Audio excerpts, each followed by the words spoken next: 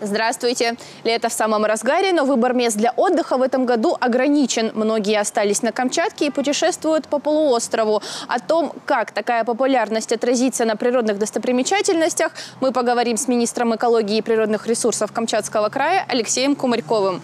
Алексей Анатольевич, здравствуйте! На прошлой неделе на Голубые озера рванула толпа в 400 человек. Это вот сейчас самое популярное место для отдыха. И как вы думаете, отразится ли такая популярность во вред Голубым озерам? Памятник природы Голубые озера находится в верховьях долины. Соответственно, путь к Голубым озерам, все 10 или 15 километров, это все лесной фонд. Но если говорить э, конкретно о Голубых озерах, который является памятником природы, который расположен на высоте 800 метров над уровнем моря, то давайте представим, а что может угрожать этим озерам при нашествии 400 человек? Эти 400 человек могут, наверное, оставить мусор, э, срубить кедрач, разжигать костры, э, может быть, что-то вытоптать, наверное. Ну и, на мой взгляд, если люди будут соблюдать элементарные, простые правила поведения на природе, а как известно, любые проблемы, любая разруха начинается в головах, то, соответственно, если люди будут рачительно относиться к природе, а, забирать за собой мусор, не рубить там кедрач, э, ну и не топтать э, каким-то намеренным образом эти горные цветы, а ходить как-то по камням и как-то элементарно просто беречь то что, то, что под ногами, то я в принципе считаю, хотя может быть мое мнение будет непопулярно среди э, части экологов, я считаю, что проблемы какой-то значительной от этого не будет, потому что то ли эти 400 человек пройдут там разом, то ли 10 раз по 40 человек. В принципе, большой разницы нет. С учетом еще того, что Э, вы знаете, туда ведь большое количество групп ходит каждый день. Это я точно знаю. Поэтому разом это все произойдет или как бы по частям, э, по большому счету разницы нет. А есть понятие допустимой рекреационной нагрузки на природные объекты. А сложно сказать, не буду скрывать, э, не буду придумывать. И сложно сказать, какова там допустимая рекреационная нагрузка. Ее никто пока не оценивал. Но мы же понимаем, что Голубые озера – популярный объект, и там люди всегда были. И еще раз хочу сказать в связи с этим, что основа основ – это бережное отношение к природе. Это просто элементарные правила поведения, очень несложные. Не рубить, не сорить, ну и по возможности не топтать то, что можно не топтать. Вот и все. Поэтому я э, так думаю, что не вижу я там каких-то э, архи больших проблем от этого при соблюдении элементарных правил поведения. Ну вот ваше главное условие в том, что вы перечислили, это если будут. А если не будут? Просто у нас есть вот еще ряд популярных мест, как горный массив Вачкажец, Ганальские востряки, подножье Авачинского вулкана. И не везде туристы себя ведут добросовестно. То есть там и животных обижают, и деревья рубят, и дорогу портят. Кто может э, вот, регулировать вопросы по охране этих мест, даже если они не входят в какой-то природный парк? Как нам защитить, куда обращаться, куда жаловаться? Ну, не только люди могут животных обидеть хочу сказать, но и животные могут обидеть людей. Поэтому, говоря об этих вещах, надо сказать, что вообще, в принципе, там, подходить близко к медведям, кормить их, подкармливать, это очень большая проблема. Это так я решил сделать небольшое отвлечение. Вы знаете, на мой взгляд, э, два обстоятельства позволят сохранять эти места. Это первое, это э, надлежащее отношение людей прежде всего даже не к природе, а к самим себе, наверное, к, к своему месту на земле, как бы это громко не звучало. И вообще как, какая-то элементарная культура э, поведения в голове должна быть. Э, потому что под каждым кустом государственного инспектора не поставишь. Ни в каком субъекте Российской Федерации. Э, в самом богатом, обеспеченном нигде мы не обеспечим присутствие инспектора физическое за каждым камнем и за каждым деревом. Поэтому прежде всего это культура поведения людей – тогда у нас не будут э, помойки вокруг города, да, на каждой поляне оставля, оставаться после э, пикников. Тогда у нас на Авачинском перевале люди не будут ездить по горным вот этим тундрам, по цветам цветущим. И на Голубых озерах не будут рубить кедрачи, жечь костры и так далее. Второе обстоятельство – это, конечно, государственные меры по охране. Что касаемо особо охраняемых природных территорий, то все, что касается наших природных парков, то для их охраны создано специальное государственное бюджетное учреждение. Называется, как все знают, природный парк вулкана Камчатки. Да, инспекторов недостаточно, да, огромная площадь, но теми имеющимися силами, которые есть в распоряжении учреждения, люди пытаются справляться. Мы, безусловно, будем а, продумывать дополнительные меры охраны. Более того, пока на уровне идеи, но есть, э, витает давно уже в воздухе такая мысль, может быть, создать какую-то отдельную дирекцию а, по охране вот этих, скажем так, немножечко э, оставшихся неудел ОПТ. Памятники природы, я не скрою, практически по большому счету никто не охраняет. А, поэтому необходимо, наверное, создать отдельное учреждение для этих целей, дирекцию ОПТ. Но это как бы мысль с дальним прицелом. А сейчас, сейчас кто может охранять, ну про природный парк я сказал, есть учреждение. Кто может охранять памятники природы, такие как Голубые озера, как Вачкажец? А, этим могут заниматься и коллеги из агентства лесного хозяйства. Может быть, не постоянно там присутствовать, но проводить какие-то предохранные рейды, потому что это все лесной фонд. А лесным кодексом предусмотрены определенные правила поведения в лесах. И э, даже элементарное вот это вот оставление мусора, я же не говорю про рубки какие-то серьезные, это все, это все санкции кодекса об административных правонарушениях. Поэтому э, есть э, санкции для наказания и э, есть люди, которые могут эти санкции применять. Да, мало людей, да, малый штат, сложно все охватить, но какие-то, э, какая-то системная работа в плане предохранных рейдов, ее нужно организовать. Безусловно, мы будем этим заниматься. А кроме того, полномочия соответствующие есть и у Краевой инспекции государственного экологического надзора. Они также по ОПТ э, могут работать. Э, насколько мне известно, статья 839 КОАП, это э, речь о нарушении режима особо охраняемых природных территорий, тоже находится в зоне их полномочий. Да, их тоже очень мало, маленький, маленький штат, очень большая нагрузка, но в принципе в совокупности, если мы организуем рейдовые мероприятия с участием всех заинтересованных структур, мы сможем системно как-то переломить ситуацию. Мы будем это стремиться сделать.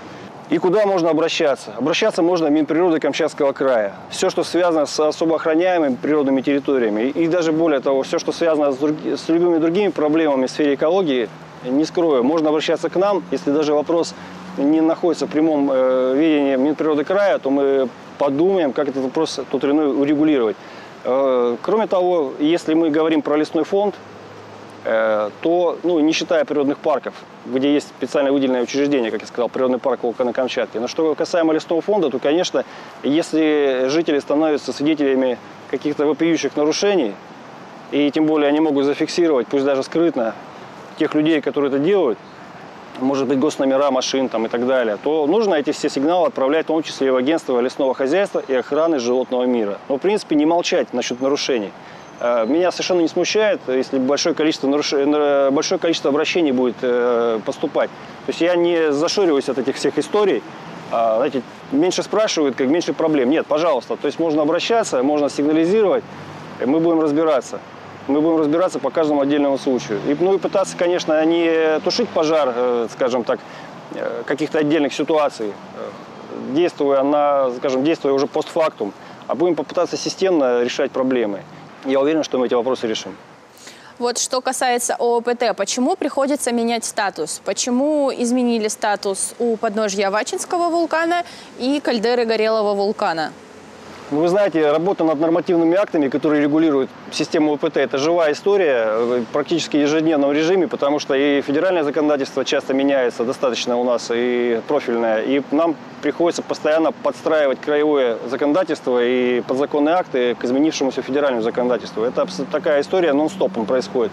Но что касаемо конкретных э, вот этих, э, как модно говорить, кейсов, отношения Вачинского вулкана, перевала точнее, и Южно-Камчатского природного парка, поясню, чем руководствовались мы при принятии таких решений. И чем я руководствовался, когда инициировал те или иные изменения. Что касаемо Авачинского вулкана, перевала, точнее говоря, э, Скажу совершенно прямо и откровенно, э, с чего началась идея сделать там зону свободного посещения. Я проанализировал государственное задание нашего краевого государственного бюджетного учреждения Природный парк вулкана Камчатки. Проанализировал, как они такое задание выполняют, а там есть некая палочная система, ну, неизбежное, как и в других госорганах, что нужно столько-то того, столько-то этого, столько-то штрафов и так далее. Я просто проанализировав э, некоторое время назад, пришел к выводу, что вместо того, чтобы э, системно работать по всем территориям, а, выявлять какие-то реальные серьезные нарушения в отношении ну, там, плохишей, там, рубки какие-то серьезные, может браконьерство, там, я не знаю, э, ну, какие-то серьезные вещи такие. Вместо этого э, львиную долю госзадания наше краевое государственное бюджетное учреждение Природный парк вулканы Камчатки выполняло на Вачинском перевале. Что они делали? Э, ну, где-то, наверное, ну, может, это не 90%, но, наверное, процентов 80 нарушений это были не что иное, как э, отсутствие разрешения на посещение Вачинского перевала. Ну, нет ничего проще. Приехал, увидел там семью с ребенком, которые там приехали евражек посмотреть. Здравствуйте, уважаемый гражданин, покажите ваше разрешение. Ой, вы знаете, мы приехали из города Вилючинска, мы вот там не успели или не знали. Заплатите 3000 рублей штраф. Вроде показатели выполнялись, а реально я считаю, что это не то, чем нужно заниматься. Нужно... То есть, по-вашему, вместо того, чтобы ловить реальных злодеев, ловили тех, кто приехал без а, э, кто-то может со мной, Кто-то может со мной поспорить, но я, как министр, да, я проанализировав выполнение госзадания, я пришел к такому выводу, что доля нарушений серьезных, реальных, она ничтожно мала. В основном все нарушения, которые э, фиксировало наше учреждение, которыми они отчитывались, это были нарушения, связанные с отсутствием вот этих вот этой бумажки на посещение конкретно Авачинского перевала. Потому что там турпоток, там очень легко приехать, приехать и нашлепать вот этих вот протоколов и отчитаться. Поэтому, чтобы эту э, практику дурную по прекратить, у меня возникла идея, что нужно разрешение там отменить чтобы ребята в парке занялись более серьезными нарушителями на более каких-то отдаленных территориях.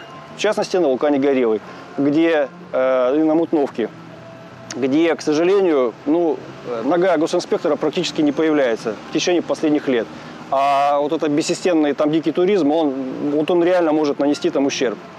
Как теперь должна проходить их работа? Они должны устраивать рейды, осмотры, обходы? Они будут работать так же, как и работали. На Вачинском перевале сейчас по госзаданию, по, точнее говоря, по оперативному заданию находятся три инспектора, которые мне уже присылали видеоматериалы, они в СМИ прошли, где они вот, контролируют людей не спрашивают, есть ли у тебя бумажка или нет в кармане. Потому что сама по себе бумажка, мы понимаем, не гарантирует вовсе ничего.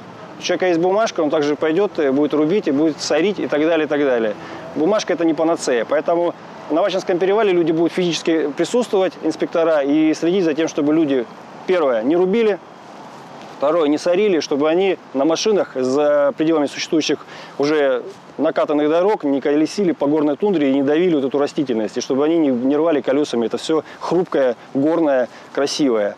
Э, вот. Что касаемо горелого вулкана, да, он вошел в состав природного парка Южно-Камчатский э, недавно совсем, вот последние дни буквально, там, дней 10, наверное, прошло, не более. Почему мы это сделали? Потому что вулкан Горелый – это совершенно уникальное место. Тут, я думаю, никто с нами не может поспорить с тем, что это уникальное место, которое э, требует охраны. Э, как я уже ранее сказал вам в интервью, что, вот, э, к сожалению, наши памятники природы немножко выпали из государственного контроля, потому что вроде как бы органов много для контроля, но реально конкретно никто вот, четко ими не занимается. А создание такого органа – это отдельная задача. Но что касаемо вулкана Горелый, сейчас уже, поскольку эта, территория вошла в природный парк, у наших госинспекторов краевого учреждения возникла четкая возможность осуществлять там контроль наверное, может быть, делать акцент не прямо там на наличие разрешений, хотя это тоже введено, потому что это территория парка, и на всех парках все происходит по разрешениям. У нас только есть два э, исключения. Первое – это Авачинский перевал, в порядке эксперимента мы это сделали, да, ну и в порядке того, что я сказал, чтобы перенаправить усилия наших инспекторов на более какие-то серьезные вещи. Второй пример, где не нужны разрешения, это Быстринский природный парк в отношении местного населения. Они тоже не, не обязаны получать этих бумажки. Они там живут, они вправе, не нарушая предохранное законодательство, спокойно ходить по своей территории. Вот. В отношении остальных территорий наших природных парков везде разрешение требуется. И э, вулкан Горелый не исключение сейчас.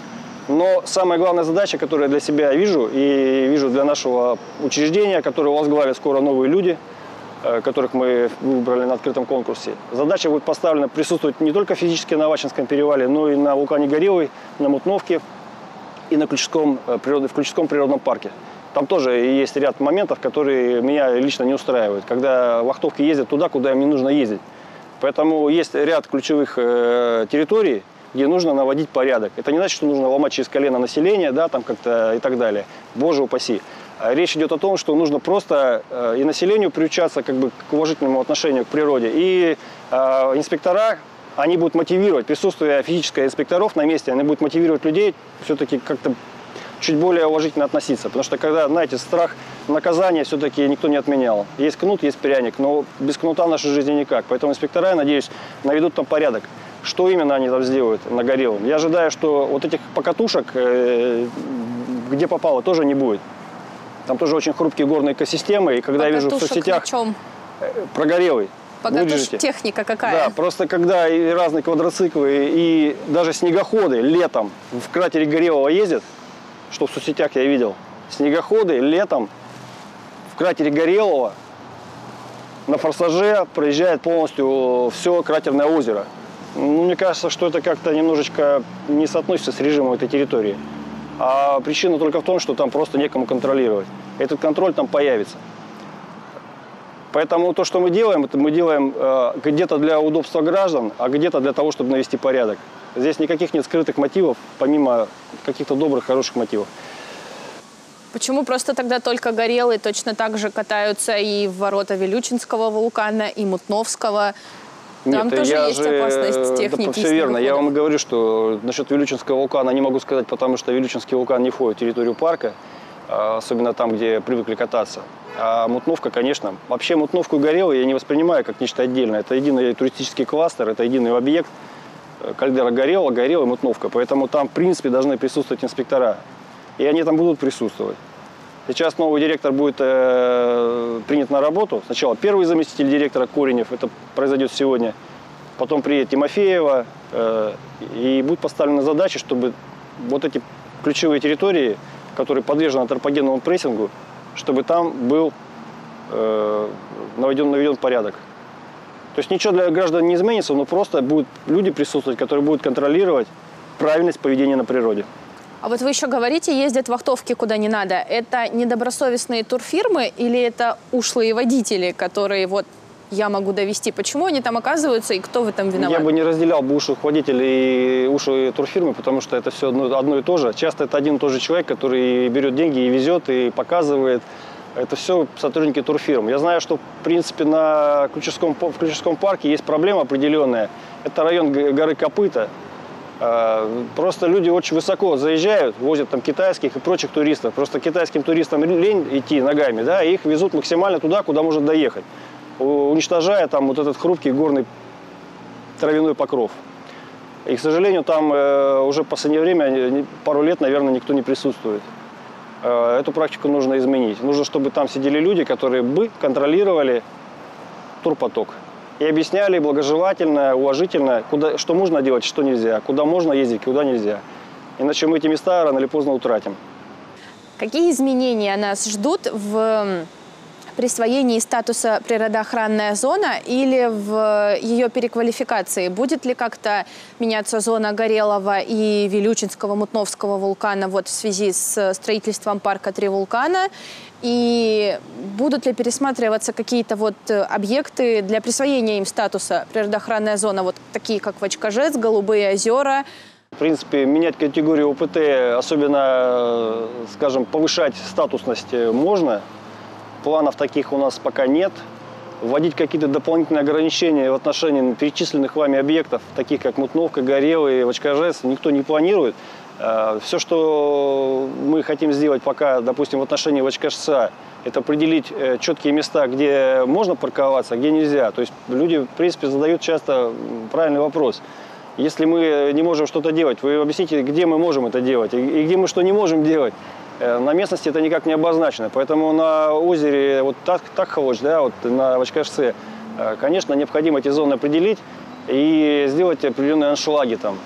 Э, Я надеюсь, что они будут сохра- сохранены, конечно, и никто их не поломает.